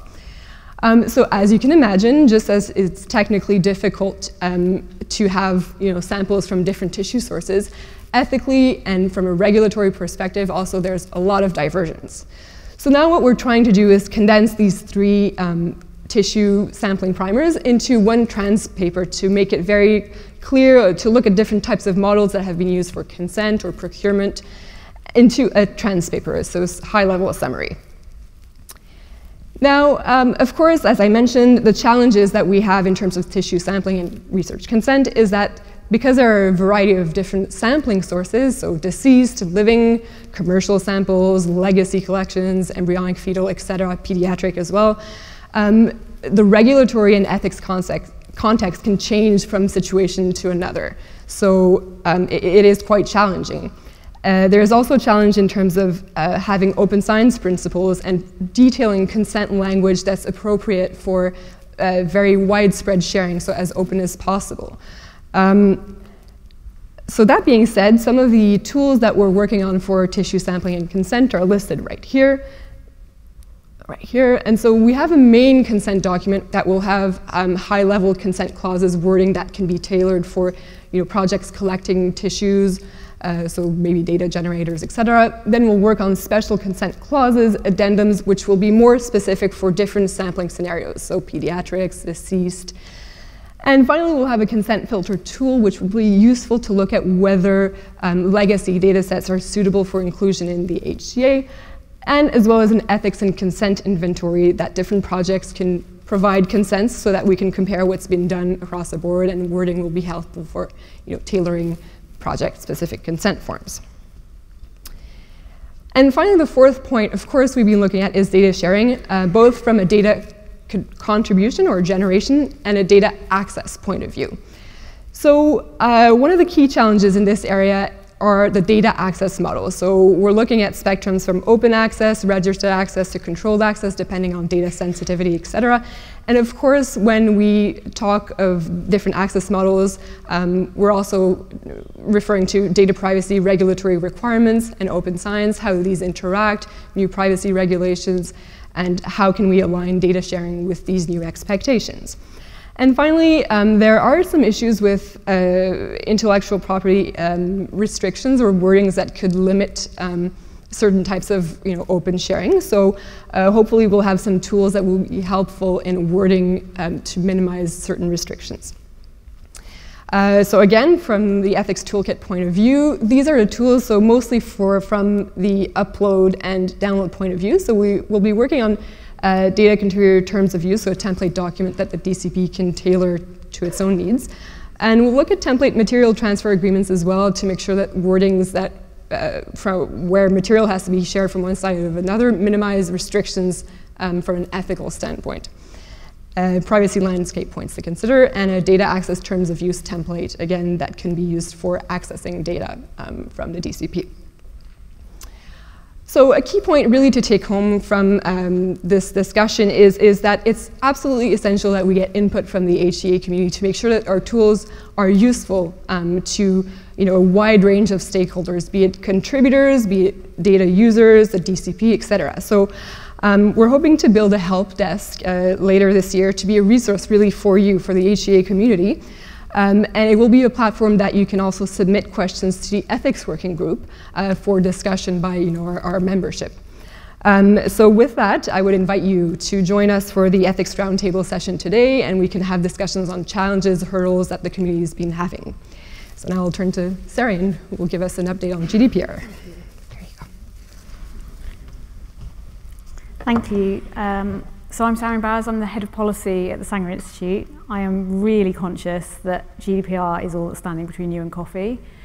Um, so I will try and make it quick, but I did want to explain a little bit about what GDPR is and its background and how it came into being, because it's quite relevant to some of the issues that um, HCA is experiencing and dealing with GDPR. So if you cast your mind back to 2012, this is when the Commission actually decided that they wanted to update the general data protection uh, sorry, the data protection legislation for uh, citizens living in, or people living in the European Economic Area. Um, and I think the world actually looked quite different in 2012. I mean, we had Obama standing for re-election, and we had Mitt Romney and Newt Gingrich, Gingrich I can't say his name, Gingrich, slogging it out for the Republican candidacy. If you think about the, the elections that happened in 2016, the use of data in those elections was very different. We also had um, we had Malala Yousafzai, um, who actually was shot in 2012. By the time GDPR actually became legislation, Malala had recovered, she'd done her GCSEs, she'd done her A-levels, and she'd gone to university, which tells you how long it took for this legislation to get through Parliament and become law. Um, and if the world looked different in 2012, so did genomics. Um, so back in 2012, uh, the University of Connecticut was so excited that someone spoke about genomics at a symposium. They made it an entire headline. Uh, we had the gorilla genome. Subscribers to the National Hog Farmer uh, were delighted to find out that we've got the pig genome. Uh, Nanopore released its first sequencer, so that was, you know, when you think where they're at now, and we were 1,000 genomes was the really big project then, so 1,000 whole genomes. So this is what we're sort of contending with, um, and this is what the world looked like when the Commission started thinking about data protection legislation. So what were they trying to do? Well, they already recognised the world had changed since the last time they'd written the legislation, which was in 95. They wanted to strengthen the rights of people living in the EEA and how their data was being used. The biggest change was actually they wanted to increase what's called transparency requirements. So organisations using personal data were basically required to say why they're using it, what they're using it for, um, and how data subjects can actually um, uh, have their rights maintained. And the idea was to try and harmonise it across Europe. So they were replacing a directive with a regulation, which is a, a legal difference, but basically meant that the legislation should be identical in every country. Didn't really happen. Um, but I think this is really important, this one point, is that when the Commission were thinking about this legislation, they were primarily targeting insurance companies, marketing, all these kind of commercial uses of personal data. They weren't thinking about research, and so the good news is that they're not really trying to target research with this legislation. The bad news is, is that the sort of um, carve-outs for, re for research are kind of afterthoughts, which can make it a bit difficult. So that's all well and good, and the Commission proposed actually quite a reasonable piece of legislation, um, and the Parliament then had to uh, make some, they basically then had to take that legislation and propose amendments to it. And just as they were doing that, this guy, Edward Snowden, came along, uh, whistle blew on the NSA in the US, and the European Parliament kind of had a little freak out um, and got very scared and in initially proposed legislation that said that you had to get consent every single time you wanted to use someone's personal data. Um, and that didn't happen because um, what actually happened was the Commission proposes the le legislation, the Parliament and the Council both propose amendments to the legislation, and then they go into this very European thing called a trilogue, where they slog it out and they come up with a compromise, which is what happened. But this thing about consent stuck in people's minds. They still think consent is really the be-all and end-all to do with GDPR. Um, so what does this have to do with HCA? Well, the first big thing was that in the definition of personal data in Article 4, for the very first time, they specifically mentioned genetic data. So for the first time, genetic data is, is personal data. Um, and in fact, because this was so novel, they wrote a uh, what's called a recital, which is kind of a drafter's note um, in which they defined it a bit more. This is quite a legal definition of genetic data. Uh, probably doesn't quite match up with scientific views of genetic data. Um, and then the other thing that then came along was that you had to, um, they provided six different reasons, six different ways it could be legal to process personal data. So you basically need to be doing one of these six things in order for it to be legal to process data. If you're not, then you know, it's illegal to do it.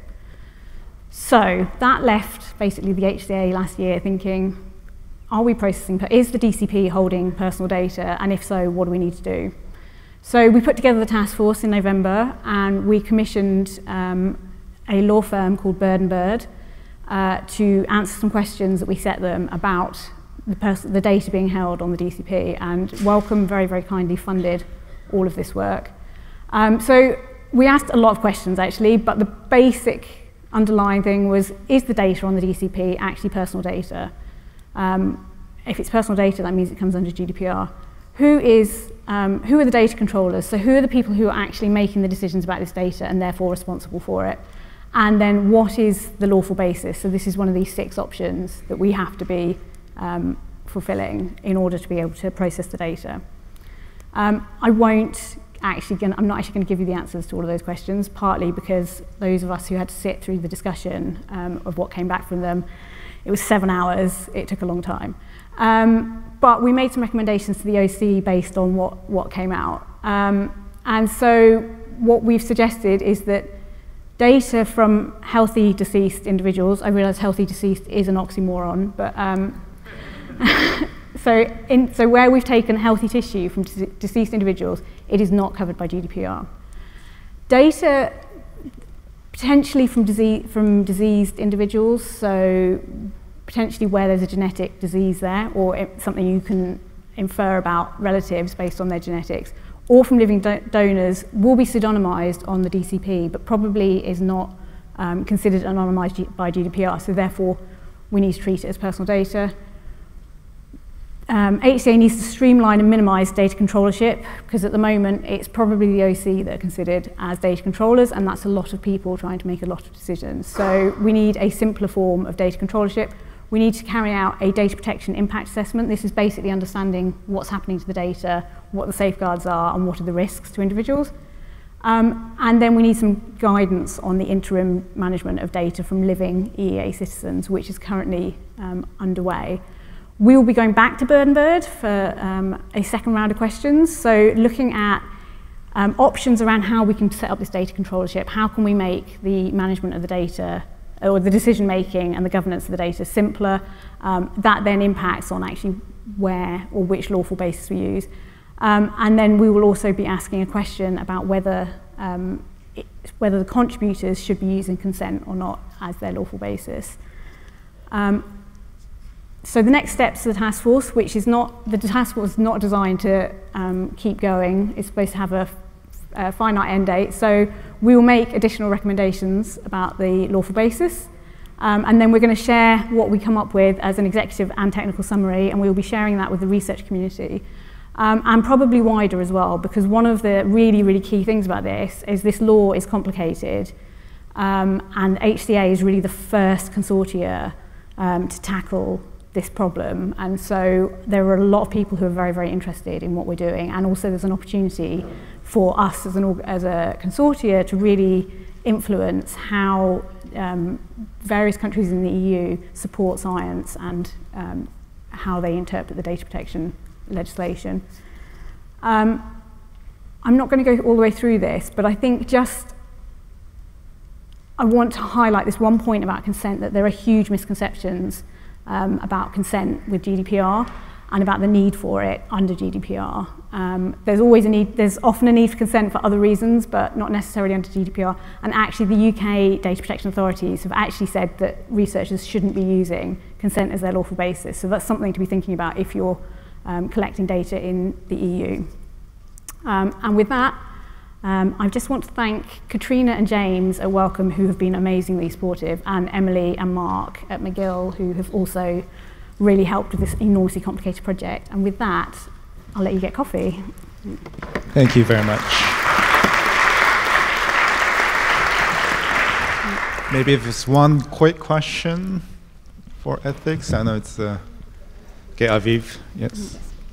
Very quick. I want to add a particular thank you to Sarah.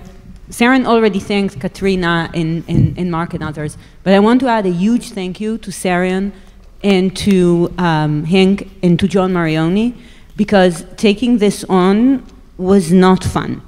And is enormously important, not just for HCA, but because of what Sarion said largely to the genomics community. And so I think we really owe them a debt of gratitude for that work. That's it.